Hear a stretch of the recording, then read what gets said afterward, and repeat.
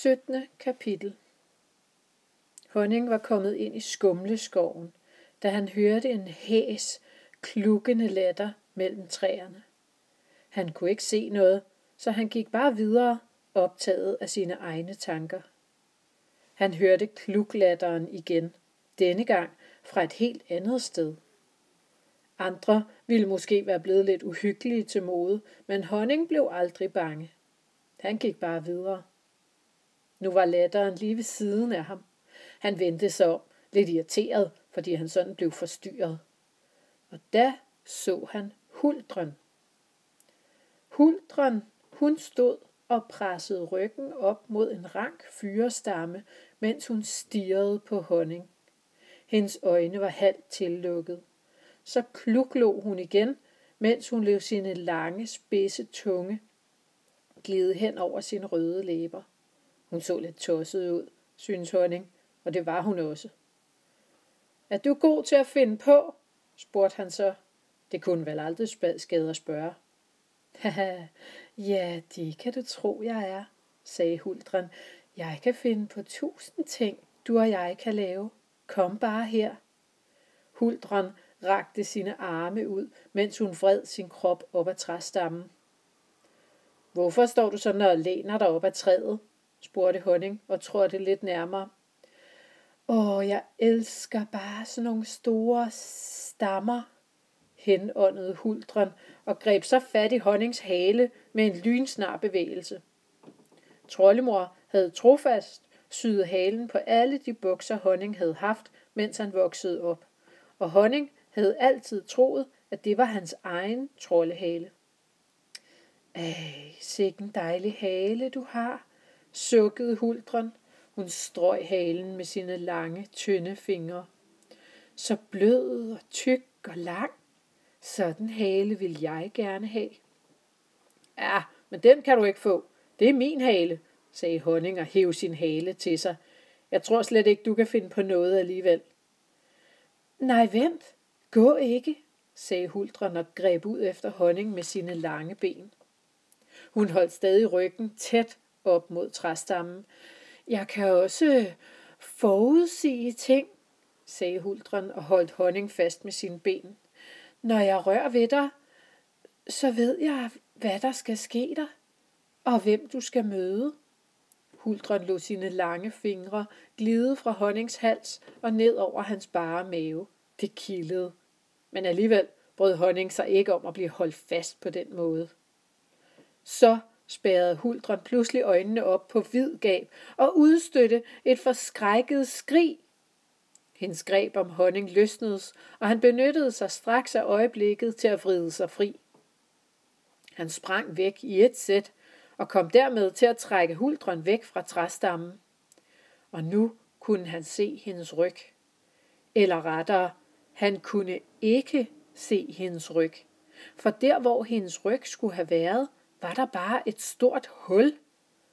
Bagfra kunne honning se lige igennem huldren, og for øjnene af ham blev hullet større og større, og puff var huldren helt væk. Honning kiggede sig forvirret omkring. Det hele var gået så stærkt. Så hørte han huldrens kluklatter lidt borte. Nu stod hun ved et andet træ. Hun lå igen sin tunge glide over læberne. Pas på Grimrian, sagde hun, og så forsvandt hun helt. Trollemor grinede, da honning kom hjem og fortalte om huldren. Hugorm og hængedyng. Alle elverpiger har hulerygge, selvom huldren ikke er en helt rigtig elverpige. Men det var nu godt, du slap fra hende. Det er der mange, der har svært ved. Men da honning fortalte om huldrens advarsel, blev trollemor helt stiv af skræk. Grimrian, grisk og gemen, brysk og begærlig og olmende ond. Hans hjerte er sten, og hans ånde er ætsende og ægel. Han vil have alt for sig selv og eje al lykke i skoven. Han er gal af galle og gammel som livet selv. Han vil ikke dø.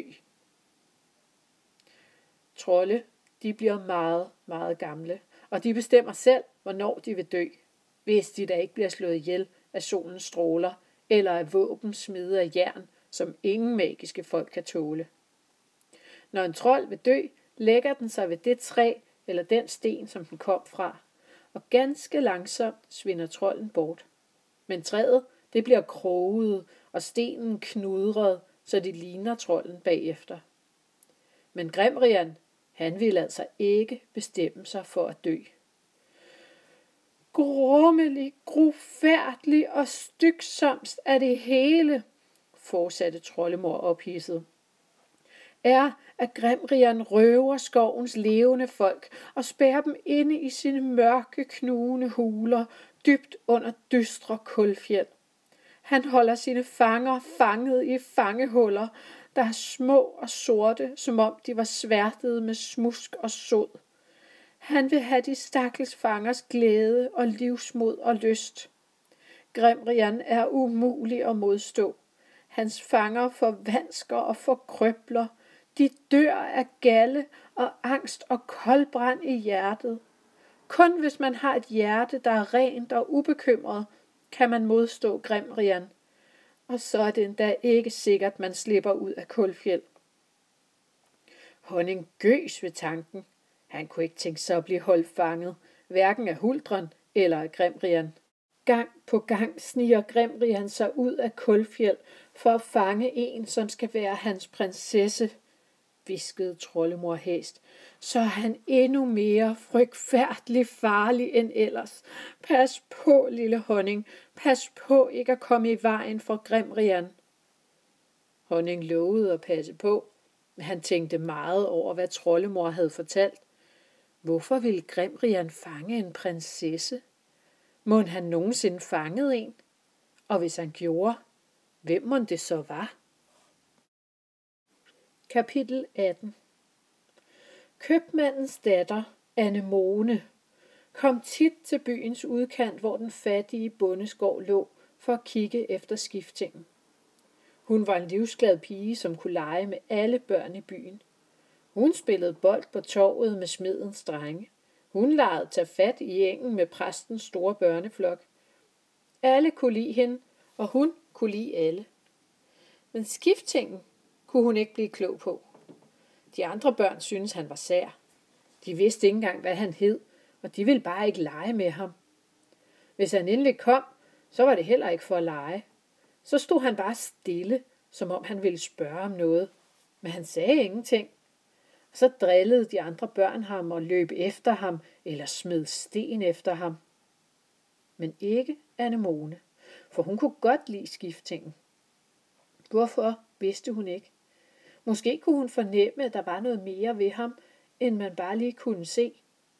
Eller også så troede hun bare ikke på, at skiftingen egentlig helst ville gå rundt alene. Under alle omstændigheder kom hun tit ud til bundens gård for at lege med skiftingen. Det lykkedes bare aldrig. Enten så havde han gemt sig, eller også så stod han bare helt stille, som han plejede. Når hun spurgte, om han ville lege, eller hvad han hed, så svarede han ikke. En dag havde Anemone taget sin røde bold med.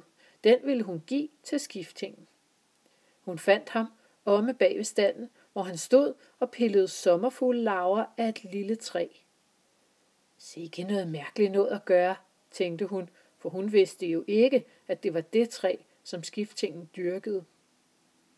Værsgo, den er til dig, sagde hun smilende og rakte bolden ud mod ham. Skiftingen kiggede på bolden, som om han aldrig havde set sådan en før. Den fattige bonde havde aldrig haft råd til at købe dyrt legetøj til ham. Han kunne ikke tro, at den blanke røde bold var til ham. Anemone samlede alvorligt hans hænder om bolden og fik ham til at holde den. Skiftingen blev helt stiv af skræk. Hvad nu, hvis han ødelagde bolden? Men Anemone var tilfreds. Endelig havde hun da fået drengen til noget. Nu skal vi spille bold, sagde hun så og hoppede glad rundt om ham. Uden at lægge mærke til det, var hun nær ved at vælte det lille træ. Der skete ikke noget, men Skifting blev så forskrækket, at han tabte bolden. Ej, I altså, sagde Anemone ærgerligt. Må ikke han ville have hendes gave? Eller vidste han bare ikke, hvordan man spiller bold? Anemone besluttede sig for det sidste. Så måtte hun jo lære ham det. Her, sagde hun og smed bolden hen til ham. Bolden ramte skiftingen på brystet og faldt ned på jorden. Han kiggede på den. Nu smed pigen bolden efter ham, ligesom når de andre børn, de smed sten eller rådne æbler efter ham. Skiftingen vendte sig og løb ind og gemte sig i stallen. Anemone samlede sin bold op. Hun havde tårer i øjnene. Hun var både vred og ked af det. Hvorfor løb han bare? Synes han ikke, hun var god nok til at lege med? Hun tudede hele vejen hjem, lige til hun mødte bærens tykke tvillinger. Så gav hun sig til at spille bold med dem og blev glad igen. Alligevel glemte hun ikke skiftingen. Anemone gav ikke op. En dag skulle hun nok komme til at lege med denne mærkelige stille dreng. Men helt sådan gik det nu ikke. Kapitel 19 Som tiden gik og honning voksede til, blev han mere og mere restløs. Han var kun hjemme i hulen hos troldemor, når han trængte til trøst eller gode råd. Ellers tog han ud på eventyr i troldeskoven, hvor han håbede på på den måde at møde nogen, der kunne give ham det, han manglede, selvom han ikke helt vidste, hvad det var. Han fartede på kryds og tværs gennem skoven, men mærkeligt nok kom han aldrig nær skovkanten og menneskenes by. En aften havde Honning fundet en stor rundkreds i en skovlysning, hvor græsset var slidt af og svampene voksede i ring. Knaster og kogler, udbrød Gimpe, for troldeungerne var nemlig med honning den aften. Her har elverpigerne danset. Lille skid, som havde siddet på honnings skulder, udstødte et brøl af begejstring og sprang ned. Så gav han sig ivrigt i kast med at æde svampene hele rundkredsen rundt. Honning havde aldrig set elverpigerne danse. Faktisk havde han aldrig set elverpigerne, når man lige ser bort fra huldren, men hun er jo ikke en rigtig elverpige. Vi bliver her, til de kommer, sagde han. Kom, vi gemmer os i buskene, så kan vi lure på dem, når de danser. Det synes trollungerne, var en god idé, selvom det blev svært for Humpe at forholde sig i ro. Så var det lettere for Lille Skid. Han lagde sig nemlig bare til at sove i Gimpes hat. Det varede dog ikke længe, før der skete noget. Månens sejl hævede sig over trætoppene og sendte et svagt, koldt lys ned over skoven. En fin tåge bredte sig hen over lysningens græstæppe. Så kunne de høre musik. Det var så høje og fine lyde, at det næsten var uhørligt. Honning kunne se et lysskær inde mellem træerne, som langsomt kom nærmere. Et øjeblik forsvandt lysskæret, som om noget stort og mørkt var gået forbi og havde skygget for lyset. Honning gyste uden at vide hvorfor. Men så var lysskæret der igen. Nu kom bitte små, lysende alfer flyvende ind i lysningen. Togen virvlede op, lygtemænd og Sankt Hans orme kom dansende ind over græsset, og så kom elverpigerne. Lysende og lette som togen selv, dansede de rundt i deres dukperlede spindelsvævskevanter. Honning var betaget af det smukke syn. Hu, hej, hvor det gik. Den spæde, fine musik lokkede til dans, og troldeungerne sad og rokkede på deres korte ben. Honning kunne mærke, hvordan det trak og spjættede i hans egne ben og ryg og arme – det var næsten ligesom dengang Nøkken spillede. Han måtte danse.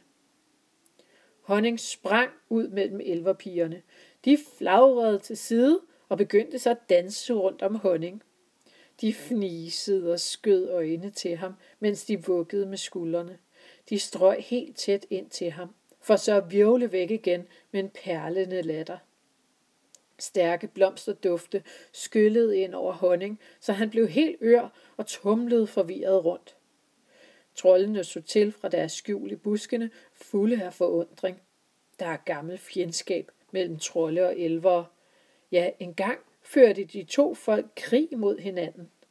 Så at se en trold danse med elverpigerne var et helt usædvanligt syn i skoven. Men også lidt sjovt, synes Humpe. Pluder og pløger, hvor ser han fjollet ud, grinede han. Knaster og kogler, vi må da lære ham at danse ordentligt, sagde Gimpe helt farvet, og så sprang han ind i elverpigernes kreds og dansede jublende rundt, og Humpe fulgte efter. Honning mærkede en sugende længsel i sit hjerte. Hver gang en elverpige strøg tæt forbi ham, løb en sød gysen gennem hans krop, og det var som om hans bryst var ved at sprænges. Hvad skete der dog med ham? Så greb Gimpe fat i hans ene hånd og Humpe i den anden. Kom, du skal danse, jublede Humpe. Gloning, det er fjollet. Husk, at de har huller i ryggene, sagde Gimpe, og så dansede han ud og ind mellem elverpiger. Honning og Humpe fulgte efter. Den mærkelige trykken i brystet blev til en herlig boblen i maven. Honning grinede højt af fryd og dansede vildt omkring. Humpe og Gimpe og alle elverpigerne lå med og dansede efter honning. Lille Skid vågnede af alt på styret og kiggede frem under Gimpes hat. Råbte han højt og grinede også. Al den hoppen og dansen kildede så sjovt i hans mave. Men inde mellem træernes mørke skygger stirrede to små røde øjne ud på al munterheden. Det var Grimrian, der lurede. Kapitel 20 Grimrian havde forladt Kulfjeld. Var det første gang, eller havde han været ude mange gange før? Han kunne ikke huske det. Minder og drømme fortonede sig i halvglemte togebilleder. Det eneste, han kunne tænke på, var at finde sig en prinsesse. En, der kun elskede ham. En, der passede hans sølvkrone. Han havde ventet på hende i hvad der føltes som tusind års ensomhed. Og måske også var det. Nu ville han ikke vente længere. I ly af nattens buld og mørke var han krøbet ud af Kulfjelds gange.